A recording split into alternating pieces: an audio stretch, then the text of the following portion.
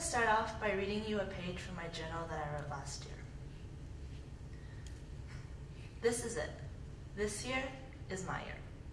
Underclassmen I asked the sports and cultural conventions. Artistic, athletic, and an academic achiever. I should be happy. I've worked so hard for this, yet it still doesn't feel fulfilling. January 12, 2014. From the very first day of high school, I was introduced to the game of perfection. I was eager to make high school the best four years of my life, and I'd do whatever it took to get there. From a young age, I was determined that I wanted to be the best at something. And that was because it worked out so simple in my head. I made a formula, a very, very easy formula that I thought I could live my life by. That was by being the best, it would lead on to happiness. And through happiness, I would have success. For a while, that worked. I was genuinely pleased with all the achievements I was getting in school. And I thought, high school was a really good place to be. Sooner or later, such achievements no longer became a thrill. Every time I'd earn a new achievement, I wasn't satisfied. I was set on achieving bigger and better. I was on the pursuit for perfection. Everything I did, how much effort I put in, however hard I worked, it wasn't going to be good enough. It was never good enough for me. Everything had to be perfect. Just a tiny flaw, a lesser of an achievement, it was just a pang of disappointment to me. I had lost my complete identity to the game of perfection, not in just an academic way, but I felt the need to be the perfect friend, the perfect daughter, the perfect student. In a few short weeks, I'd lost my identity, and all I really wanted was a little bit of joy restored into me. The turning point in this was when I realized that I was scared. I was scared of facing challenges because deep down, I was petrified of failure. And sometime before, I would have been so excited to get an opportunity to face a challenge because overcoming a challenge was a great feeling, but yet now I felt like a coward. I had built a mentality that if I wasn't going to be the best at it, that there's no reason that I should try at all that there's no reason that I should have any sort of feeling to attempt it. I was letting fear dictate my life. I feared failure. I feared imperfection, and I feared not being good enough. I channeled so much willpower into being the best at the expense of my health, my relationships with friends and family, but most importantly, my happiness. I went to school for a really long time, not knowing the real reason why I was so upset every day. I thought, maybe it's just because I wanted to achieve something more, and I wanted to achieve better. But truthfully, I was in complete denial of my obsession to be perfect.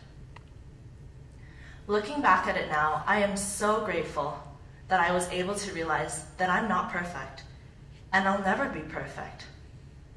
I am able to embrace my flaws and look on the brighter side of life, use my imperfections to propel me into positive thought. Now, I see being imperfect is not a bad thing. In fact, I see it as a good thing. Mistakes are inevitable. We all make mistakes. But it's what we do after we make the mistakes that count. How we learn from them, how we grow from them, and how we can better ourselves as a person from the mistakes we learn. To me, it's really important to find the right balance between striving and learn, striving for, for, for perfection and learning from the mistakes we make. Everyone has their own way with coping with distress. I choose to indulge myself into dancing, which is also quite ironic because an element of dance is focusing on precision and proper technique and utmost perfection. Yet the other half about dancing is about letting your emotions take you on a journey. Artistry. Artistry is about freedom. Freedom to let go. Freedom to express yourself. Freedom to be whoever you want to be because there is no one here to judge you or tell you what you're doing wrong. Freedom to be you. Through dancing, it made me feel so liberating. It made me feel so free. It was a feeling that I almost forgotten. Dance rejuvenated me. and it made me bring back my identity. I believe a hobby applies to everyone. If you're an artist, let the paintbrush guide you. If you're a scientist, go experiment. The sky's the limit. The best thing about a hobby is that you don't have to be the best at it. That you can come first, second, last, it doesn't matter because it's something you love to do. And by doing something you're passionate about, despite all the, all the errors you can make, you're putting passion over perfection. And by doing that, you are succeeding. I firmly believe that there is no measurement for success. No formula, no recipe, no instruction, nothing. Rather, it's an individual's evaluation of themselves and their progress. Perfection can hold you back, but it's so much more important to strive for continuous, for continuous improvement, to find improvement to help better yourself as a person. And through the mistakes you learned, through everything you grow from, everything you learn from, you are heading yourself into the direction of success. And I'm not here to tell you give up on your dreams or forget them. I'm merely just saying that it's just as important to have fun, to have happiness and joy when you're on the road to reaching your dream as it is to obtaining your dream. And if you finally reach your goal and it's not what you imagined, it's okay. Don't beat yourself up about it. Don't interrogate yourself. Don't blame yourself. Don't question why you went wrong, where you went wrong, how you went wrong. It doesn't matter. Take a deep breath, smile. Tell yourself that it's okay. Because there's another dream out there that's just right and just perfect for you. So, to sum it up, I um, would like to share a quote that really helped me get over my mental block in life. And that was, You were born to be real. Not perfect, but it's not up there. Um, so, if anything I want you to get away from today's speech is to know that perfection is unattainable, but dreams are real. And that you may want to, you may strive to, you may struggle, you may do whatever it takes but you will never win the game of perfection.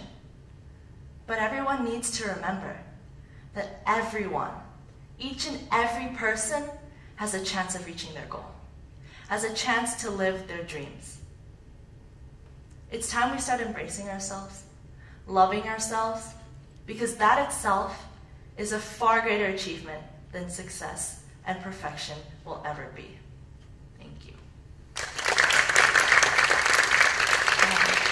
um, probably wondering why I'm wearing socks, and in my speech I did talk about dance, and I feel like it's so important that if you love something, that you're able to share it with each other. So I hope each and every one of you find something that you can share with one another, and so today I want to share dance.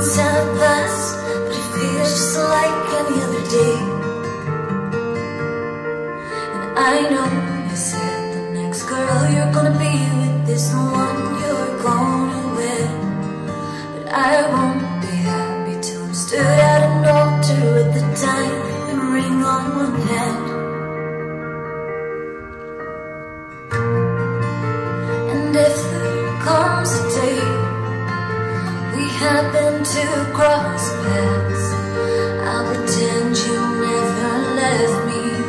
Could you also pretend that I'll act like you said it back.